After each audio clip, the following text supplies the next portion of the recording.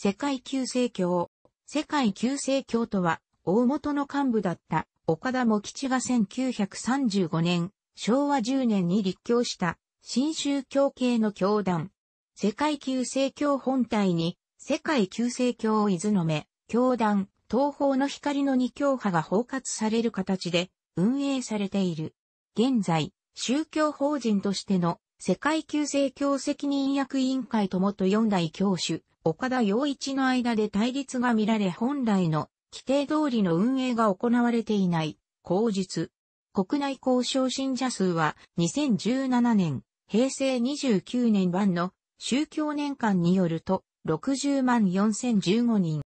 1935年に岡田茂吉が立教した。岡田はもともと大元の信者で、心霊学を学び、自動書記を体験し、大元の鎮魂気心法を熱心に習得した。すると周囲が、岡田の周りに、観世音菩薩が現れているというようになり、岡田自身も腹の中に光の玉が宿っていると感じるようになったという。1931年に夢の啓示を受けて、千葉のノコギリ山に参詣してご来光を仰ぎ、霊界において夜の時代から昼の時代への転換が起こったと感じ、霊の世界で起こったことがその後現実に現れるという霊主体重の法則と大元の後手代を発展させた条例法を確立していった。大元の活動で独自性を出すようになり、批判を受け、大元を脱退。1934年に岡田式心霊指圧療法を開始。翌35年に宗教結社大日本観音会を設立。医師でもないのに治療行為を行ったことで二度検挙され、大日本健康協会に解消し指圧に専念した。戦後は大日本条例療法普及協会を経て、熱海に大日本観音教団を設立して、手かざしによる病気治し、条例を行い、これは、お光様と呼ばれた。宗教学者の島田博美は、お光様の背景には、観音信仰があったと指摘している。観音信仰からの脱皮を目指し、1950年に世界旧世、メシア教に解消、観音に由来する大光明如来を宇宙の創生神、大光明神神、弥勒大神に改めた。当時はメシア教と呼ばれており、岡田は自身を救世主と考えていた。解消直後の1950年5月29日、熱海の本部は脱税、贈賄などの容疑で捜索を受け、岡田も吉が検挙された。潔白であることが分かり無罪判決。地上天国の建設や美術品の収集、自然農法の普及にも力を入れた。島田博美は、地上天国という考えは、大元から取り入れられたと述べている。戦前は、当局の取り締まりを受けていたため、主な弟子たちがそれぞれ会を作って活動した。戦後は表面的には一つの教団にまとまったが、会の寄せ集めのような状態が長く続いた。1955年に岡田が死去すると、もともと統合が弱かったため独立するものが多く出た。様々な問題から組織の一元化の機運が高まり、教団執行部のリーダーシップで一つにまとまったが、その過程で教会の離脱も多かった。上地、秀明会はその時の最も大きい分派である。一元化の後もトップの座を争っての権力闘争や、急激な改革への不満などから、教団は分裂。また世俗組織と宗教活動の実態のズレが分裂を促すこととなった。2018年1月まで世界旧世教は世界旧世教本体に世界旧世教伊豆の目、教団、旧神聖派、東方の光、旧再建派、主の公共団、旧五次派の三教派が包括される形で運営されていた。島田博美は、手かざしには特別な修行や競技の裏付けが必要ないので、学んだものが好きに活用することができ、分派、分裂が起こりやすいと指摘している。手かざしを行う信仰も、世界旧世教の信者であった岡田光玉が始めた。世界旧世教の特徴的な宗教活動は、条例という手かざしの儀式的行為を各信者が行うこと、自然農法という農法を推進すること、芸術活動を行うことである。手かざしは間違った世界を浄化する手段という意味があり、自然農法も農薬や人工肥料を使う現在の農業への批判に基づいている。例の世界の実在を主張しており、心霊主義の影響がある。岡田は、霊作法という恒例を行っていたが、現在は、霊との直接の交流は行われていない。天正を信じ、霊のレベルの上昇を重視する。世界旧世教の交渉信者数は2016年、平成29年版の宗教年間によると60万4015人とされている。海外では99カ国で200万人の信者がおり、うち、タイには約70万人、ブラジルには約44万人の信者がいるとしている。しかし公的な調査の信者数とは開きがあり、ブラジルの2000年の国勢調査における信者数は10万9310人だった。タイ、ブラジルには国内と同様、聖地と定めた神殿及び庭園が建設されている。世界旧世教伊豆の目教団は、熱海北部の開発と深く関わっている。政治にも強く関与しており、これまで参議院の全国区、比例区選挙では、糸山栄太郎、竹内清、堀江正夫、川上源太郎、命と高秀、成瀬森重、再建派、海江田鶴蔵、新生派、阿南一世といった候補を応援してきたほか、新進党から世界旧世協役員の中川健二を擁立する計画もあったが、公認を辞退している。また、非高速名簿式となってからも、MOA、明るい社会を作る会が、おつじ秀久、橋本聖子を、伊豆の目教団が、鶴源丸手を、主の公共団が、有村春子をそれぞれ応援している。現在の世界旧世教は、包括宗教団体である世界旧世教の執行役委員会と世界旧世教元教師の間で対立が発生している。きっかけは教師であった岡田洋一がキリスト教系信仰宗教関係者に洗脳されているという疑惑の存在である。この疑惑を受けて東方の光は教主に対する調査を行い教主がキリスト教系信仰宗教関係者と接していることを明らかにした。一方、非法活法人、当時の主の公共団はあくまで教師を擁護する姿勢を貫いていた。これについては、教団本来の教義と異なるメッセージである、岡田明一流の教えを拡散しているとの指摘もあるが、主の光側は、神様の子供としてもう一度新しく生まれるという全く新しい信仰の道を歩み始めていますと述べて岡田の言動を全面的に支持している。平成29年12月19日世界旧正教は伊豆の目教団系の世界旧正教責任役員を含めた責任役員会の賛成多数により教主当時である岡田の行動制限を議決したが伊豆の目教団側の信徒の中には、東方の光側による岡田への不敬行為を問題にして、世界旧世教を伊豆の目、教団言論と信教の自由を守る会を結成し、世界旧世教執行部と対立する動きも見られた。この流れを主導した当時の伊豆の目、教団責任役員らは後に世界旧世教を除名され、主の公共団、伊豆の目教区を結成する。12月27日、世界旧正教執行部に反発したい、図の目教団の元責任役員2名を含む80人以上の現役、前職の教団幹部が連名で、教主様の行動を制約する決議なる文書について、という抗議文書を提出している。平成30年1月30日には、主の公共団は、包括宗教法人としての世界旧正教から法的な包括関係を解除された。6月22日には、岡田洋一は教師を解任され、岡田家の者も、宗家としての地位を失った。さらに元教師と対立的な東方の光の中にも、世界旧正教再生救護の会という独自団体を作り執行部側、元教師側の双方と距離を置く勢力も誕生している。霊界という見えない世界と限界という目に見える世界があり、霊界が限界を支配し、心が体を動かすように霊界が限界を動かすと考える。人間は永遠の生命を持つ霊体と二義的な現体からなるとされる。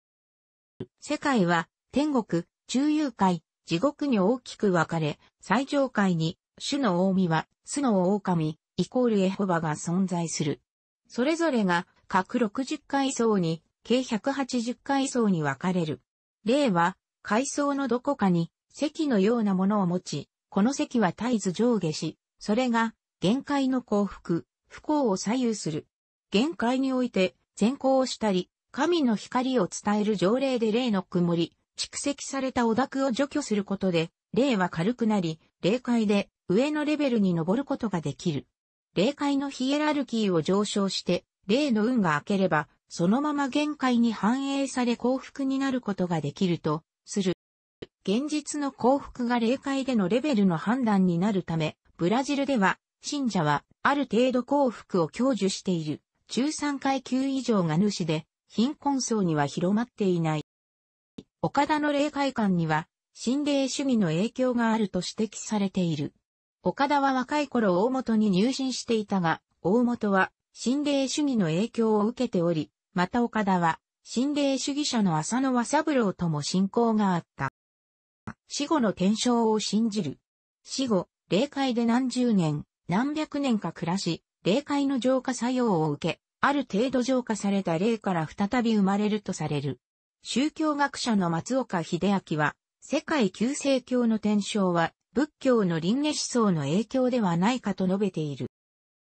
キリスト教の世界観を根本的な部分で肯定しており、最後の審判が霊界の夜から昼への転換という形で必ず起こるとしている。霊界の夜昼転換に伴って出現する地上天国は神によって選ばれた人間が建設するもので、世界旧世教が建設者であるとしている。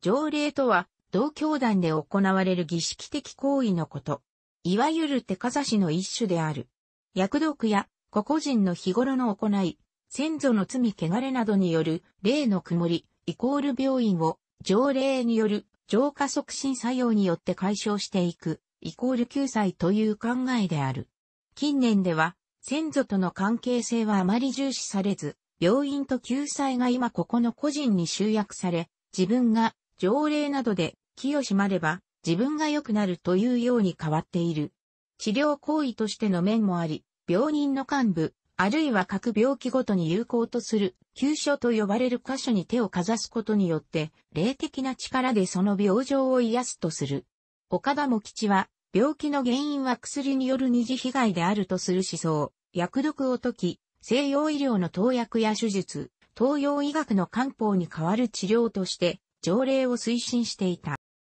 岡田はもともと岡田式心霊指圧療法という治療を行っていたが、医師法違反で検挙されたことから条例を行うようになった。岡田が昭和前半に25年かけて開発したとされる。大本教の教祖、出口鬼三郎の杓子を使った治療法を源とすると言われ、岡田は杓子の代わりに扇子をかざす方法を考案し、これが手をかざす方法になった。宗教学者の立川武蔵は、岡田の条例、手かざしは、は、明治時代に日本に輸入された西洋のメスメリズムと日本の伝統的な技法との混合で生み出されたものであると指摘している。この技法によって日本国内での地位を確立し、海外への布教でも成果を上げた。世界級正教系の教団が手かざしを行うことが特徴である。条例と呼ばれるが、岡田の裁判年まで単に治療、お清めと呼ばれていた。岡田も吉による1951年9月26日発表の論説文、条例の発明的価値内冒頭に、条例という言葉は歴史上今日までなかったことは言うまでもないと記載されている。また、世界旧世教発行の書籍、傾向内には、お前たちは、常平を、条例、条例と言って何の不審なく使っているが、この条例なんて熟語はどんな辞書を見たって載ってないよ、と岡田茂吉が発言した旨が掲載されている。条例の霊の文字は幽霊の霊ではなく魂を意味する。霊能者用語の条例の影響で表慰霊を退散させる儀式であると誤解を受けることがあるが、条例によって清める対象は、表慰霊ではなく、対面している人間の魂である。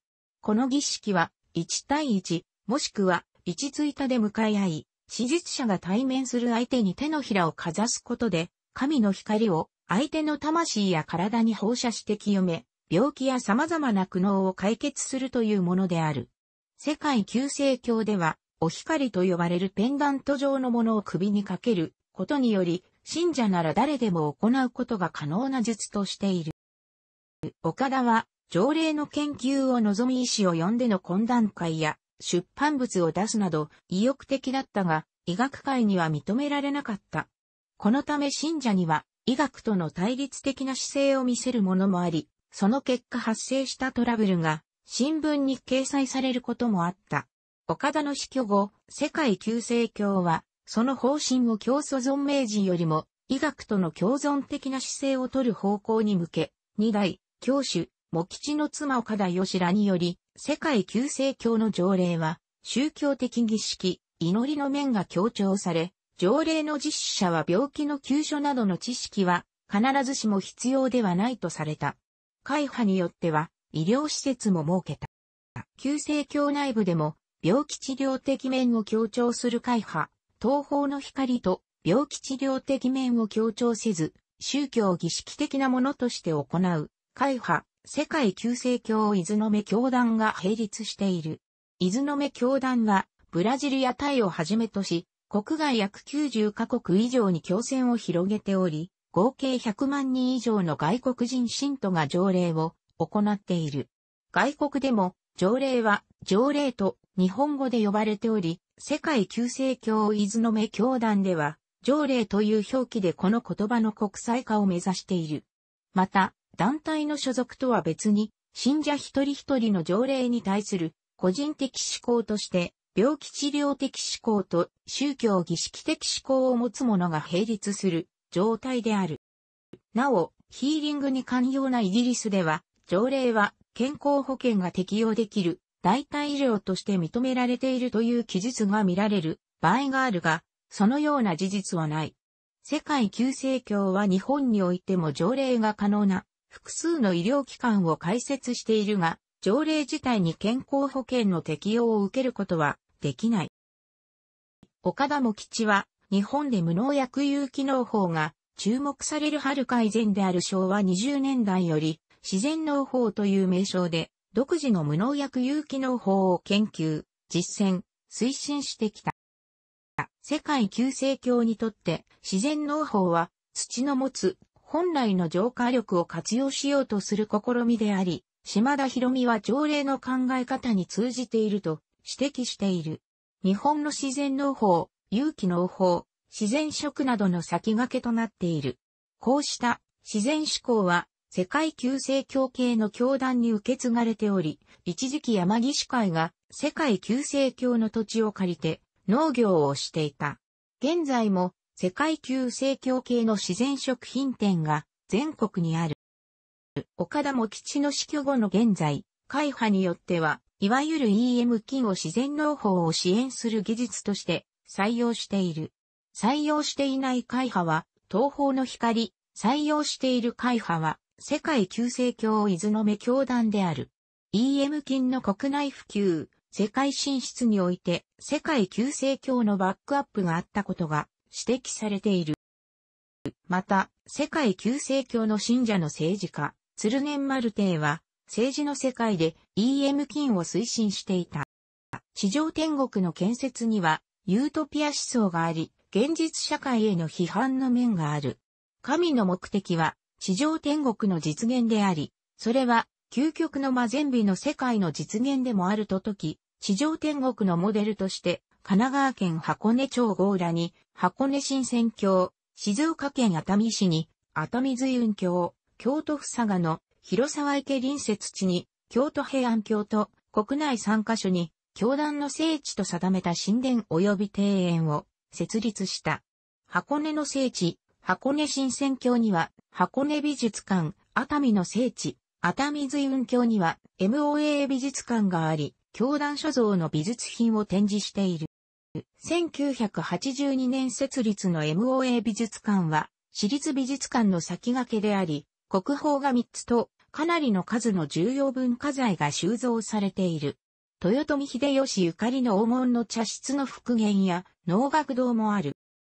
ブラジルでは日本の新宗教の布教が最も成功しており、2008年時点で30万人以上の世界旧世教の信者がいるとされる。ブラジルの宗教、カルデシズモと世界旧世教の教義には、手による霊的エネルギーの伝達、天正論、霊的ヒエラルキー上昇の重視、そのための善行の奨励などの類似がある。宗教学者の松岡秀明は、これは共に、心霊主義の影響を受けているためであると述べている。そのためブラジルの人々にとって、世界旧世教の教えは親しみやすいものであったが、カルデシズモで最も重視される恒例は禁じられている。MOA、または MOA とは、モキチオカダアソシエーションの略。楽しくご覧になりましたら、購読と良いです。クリックしてください。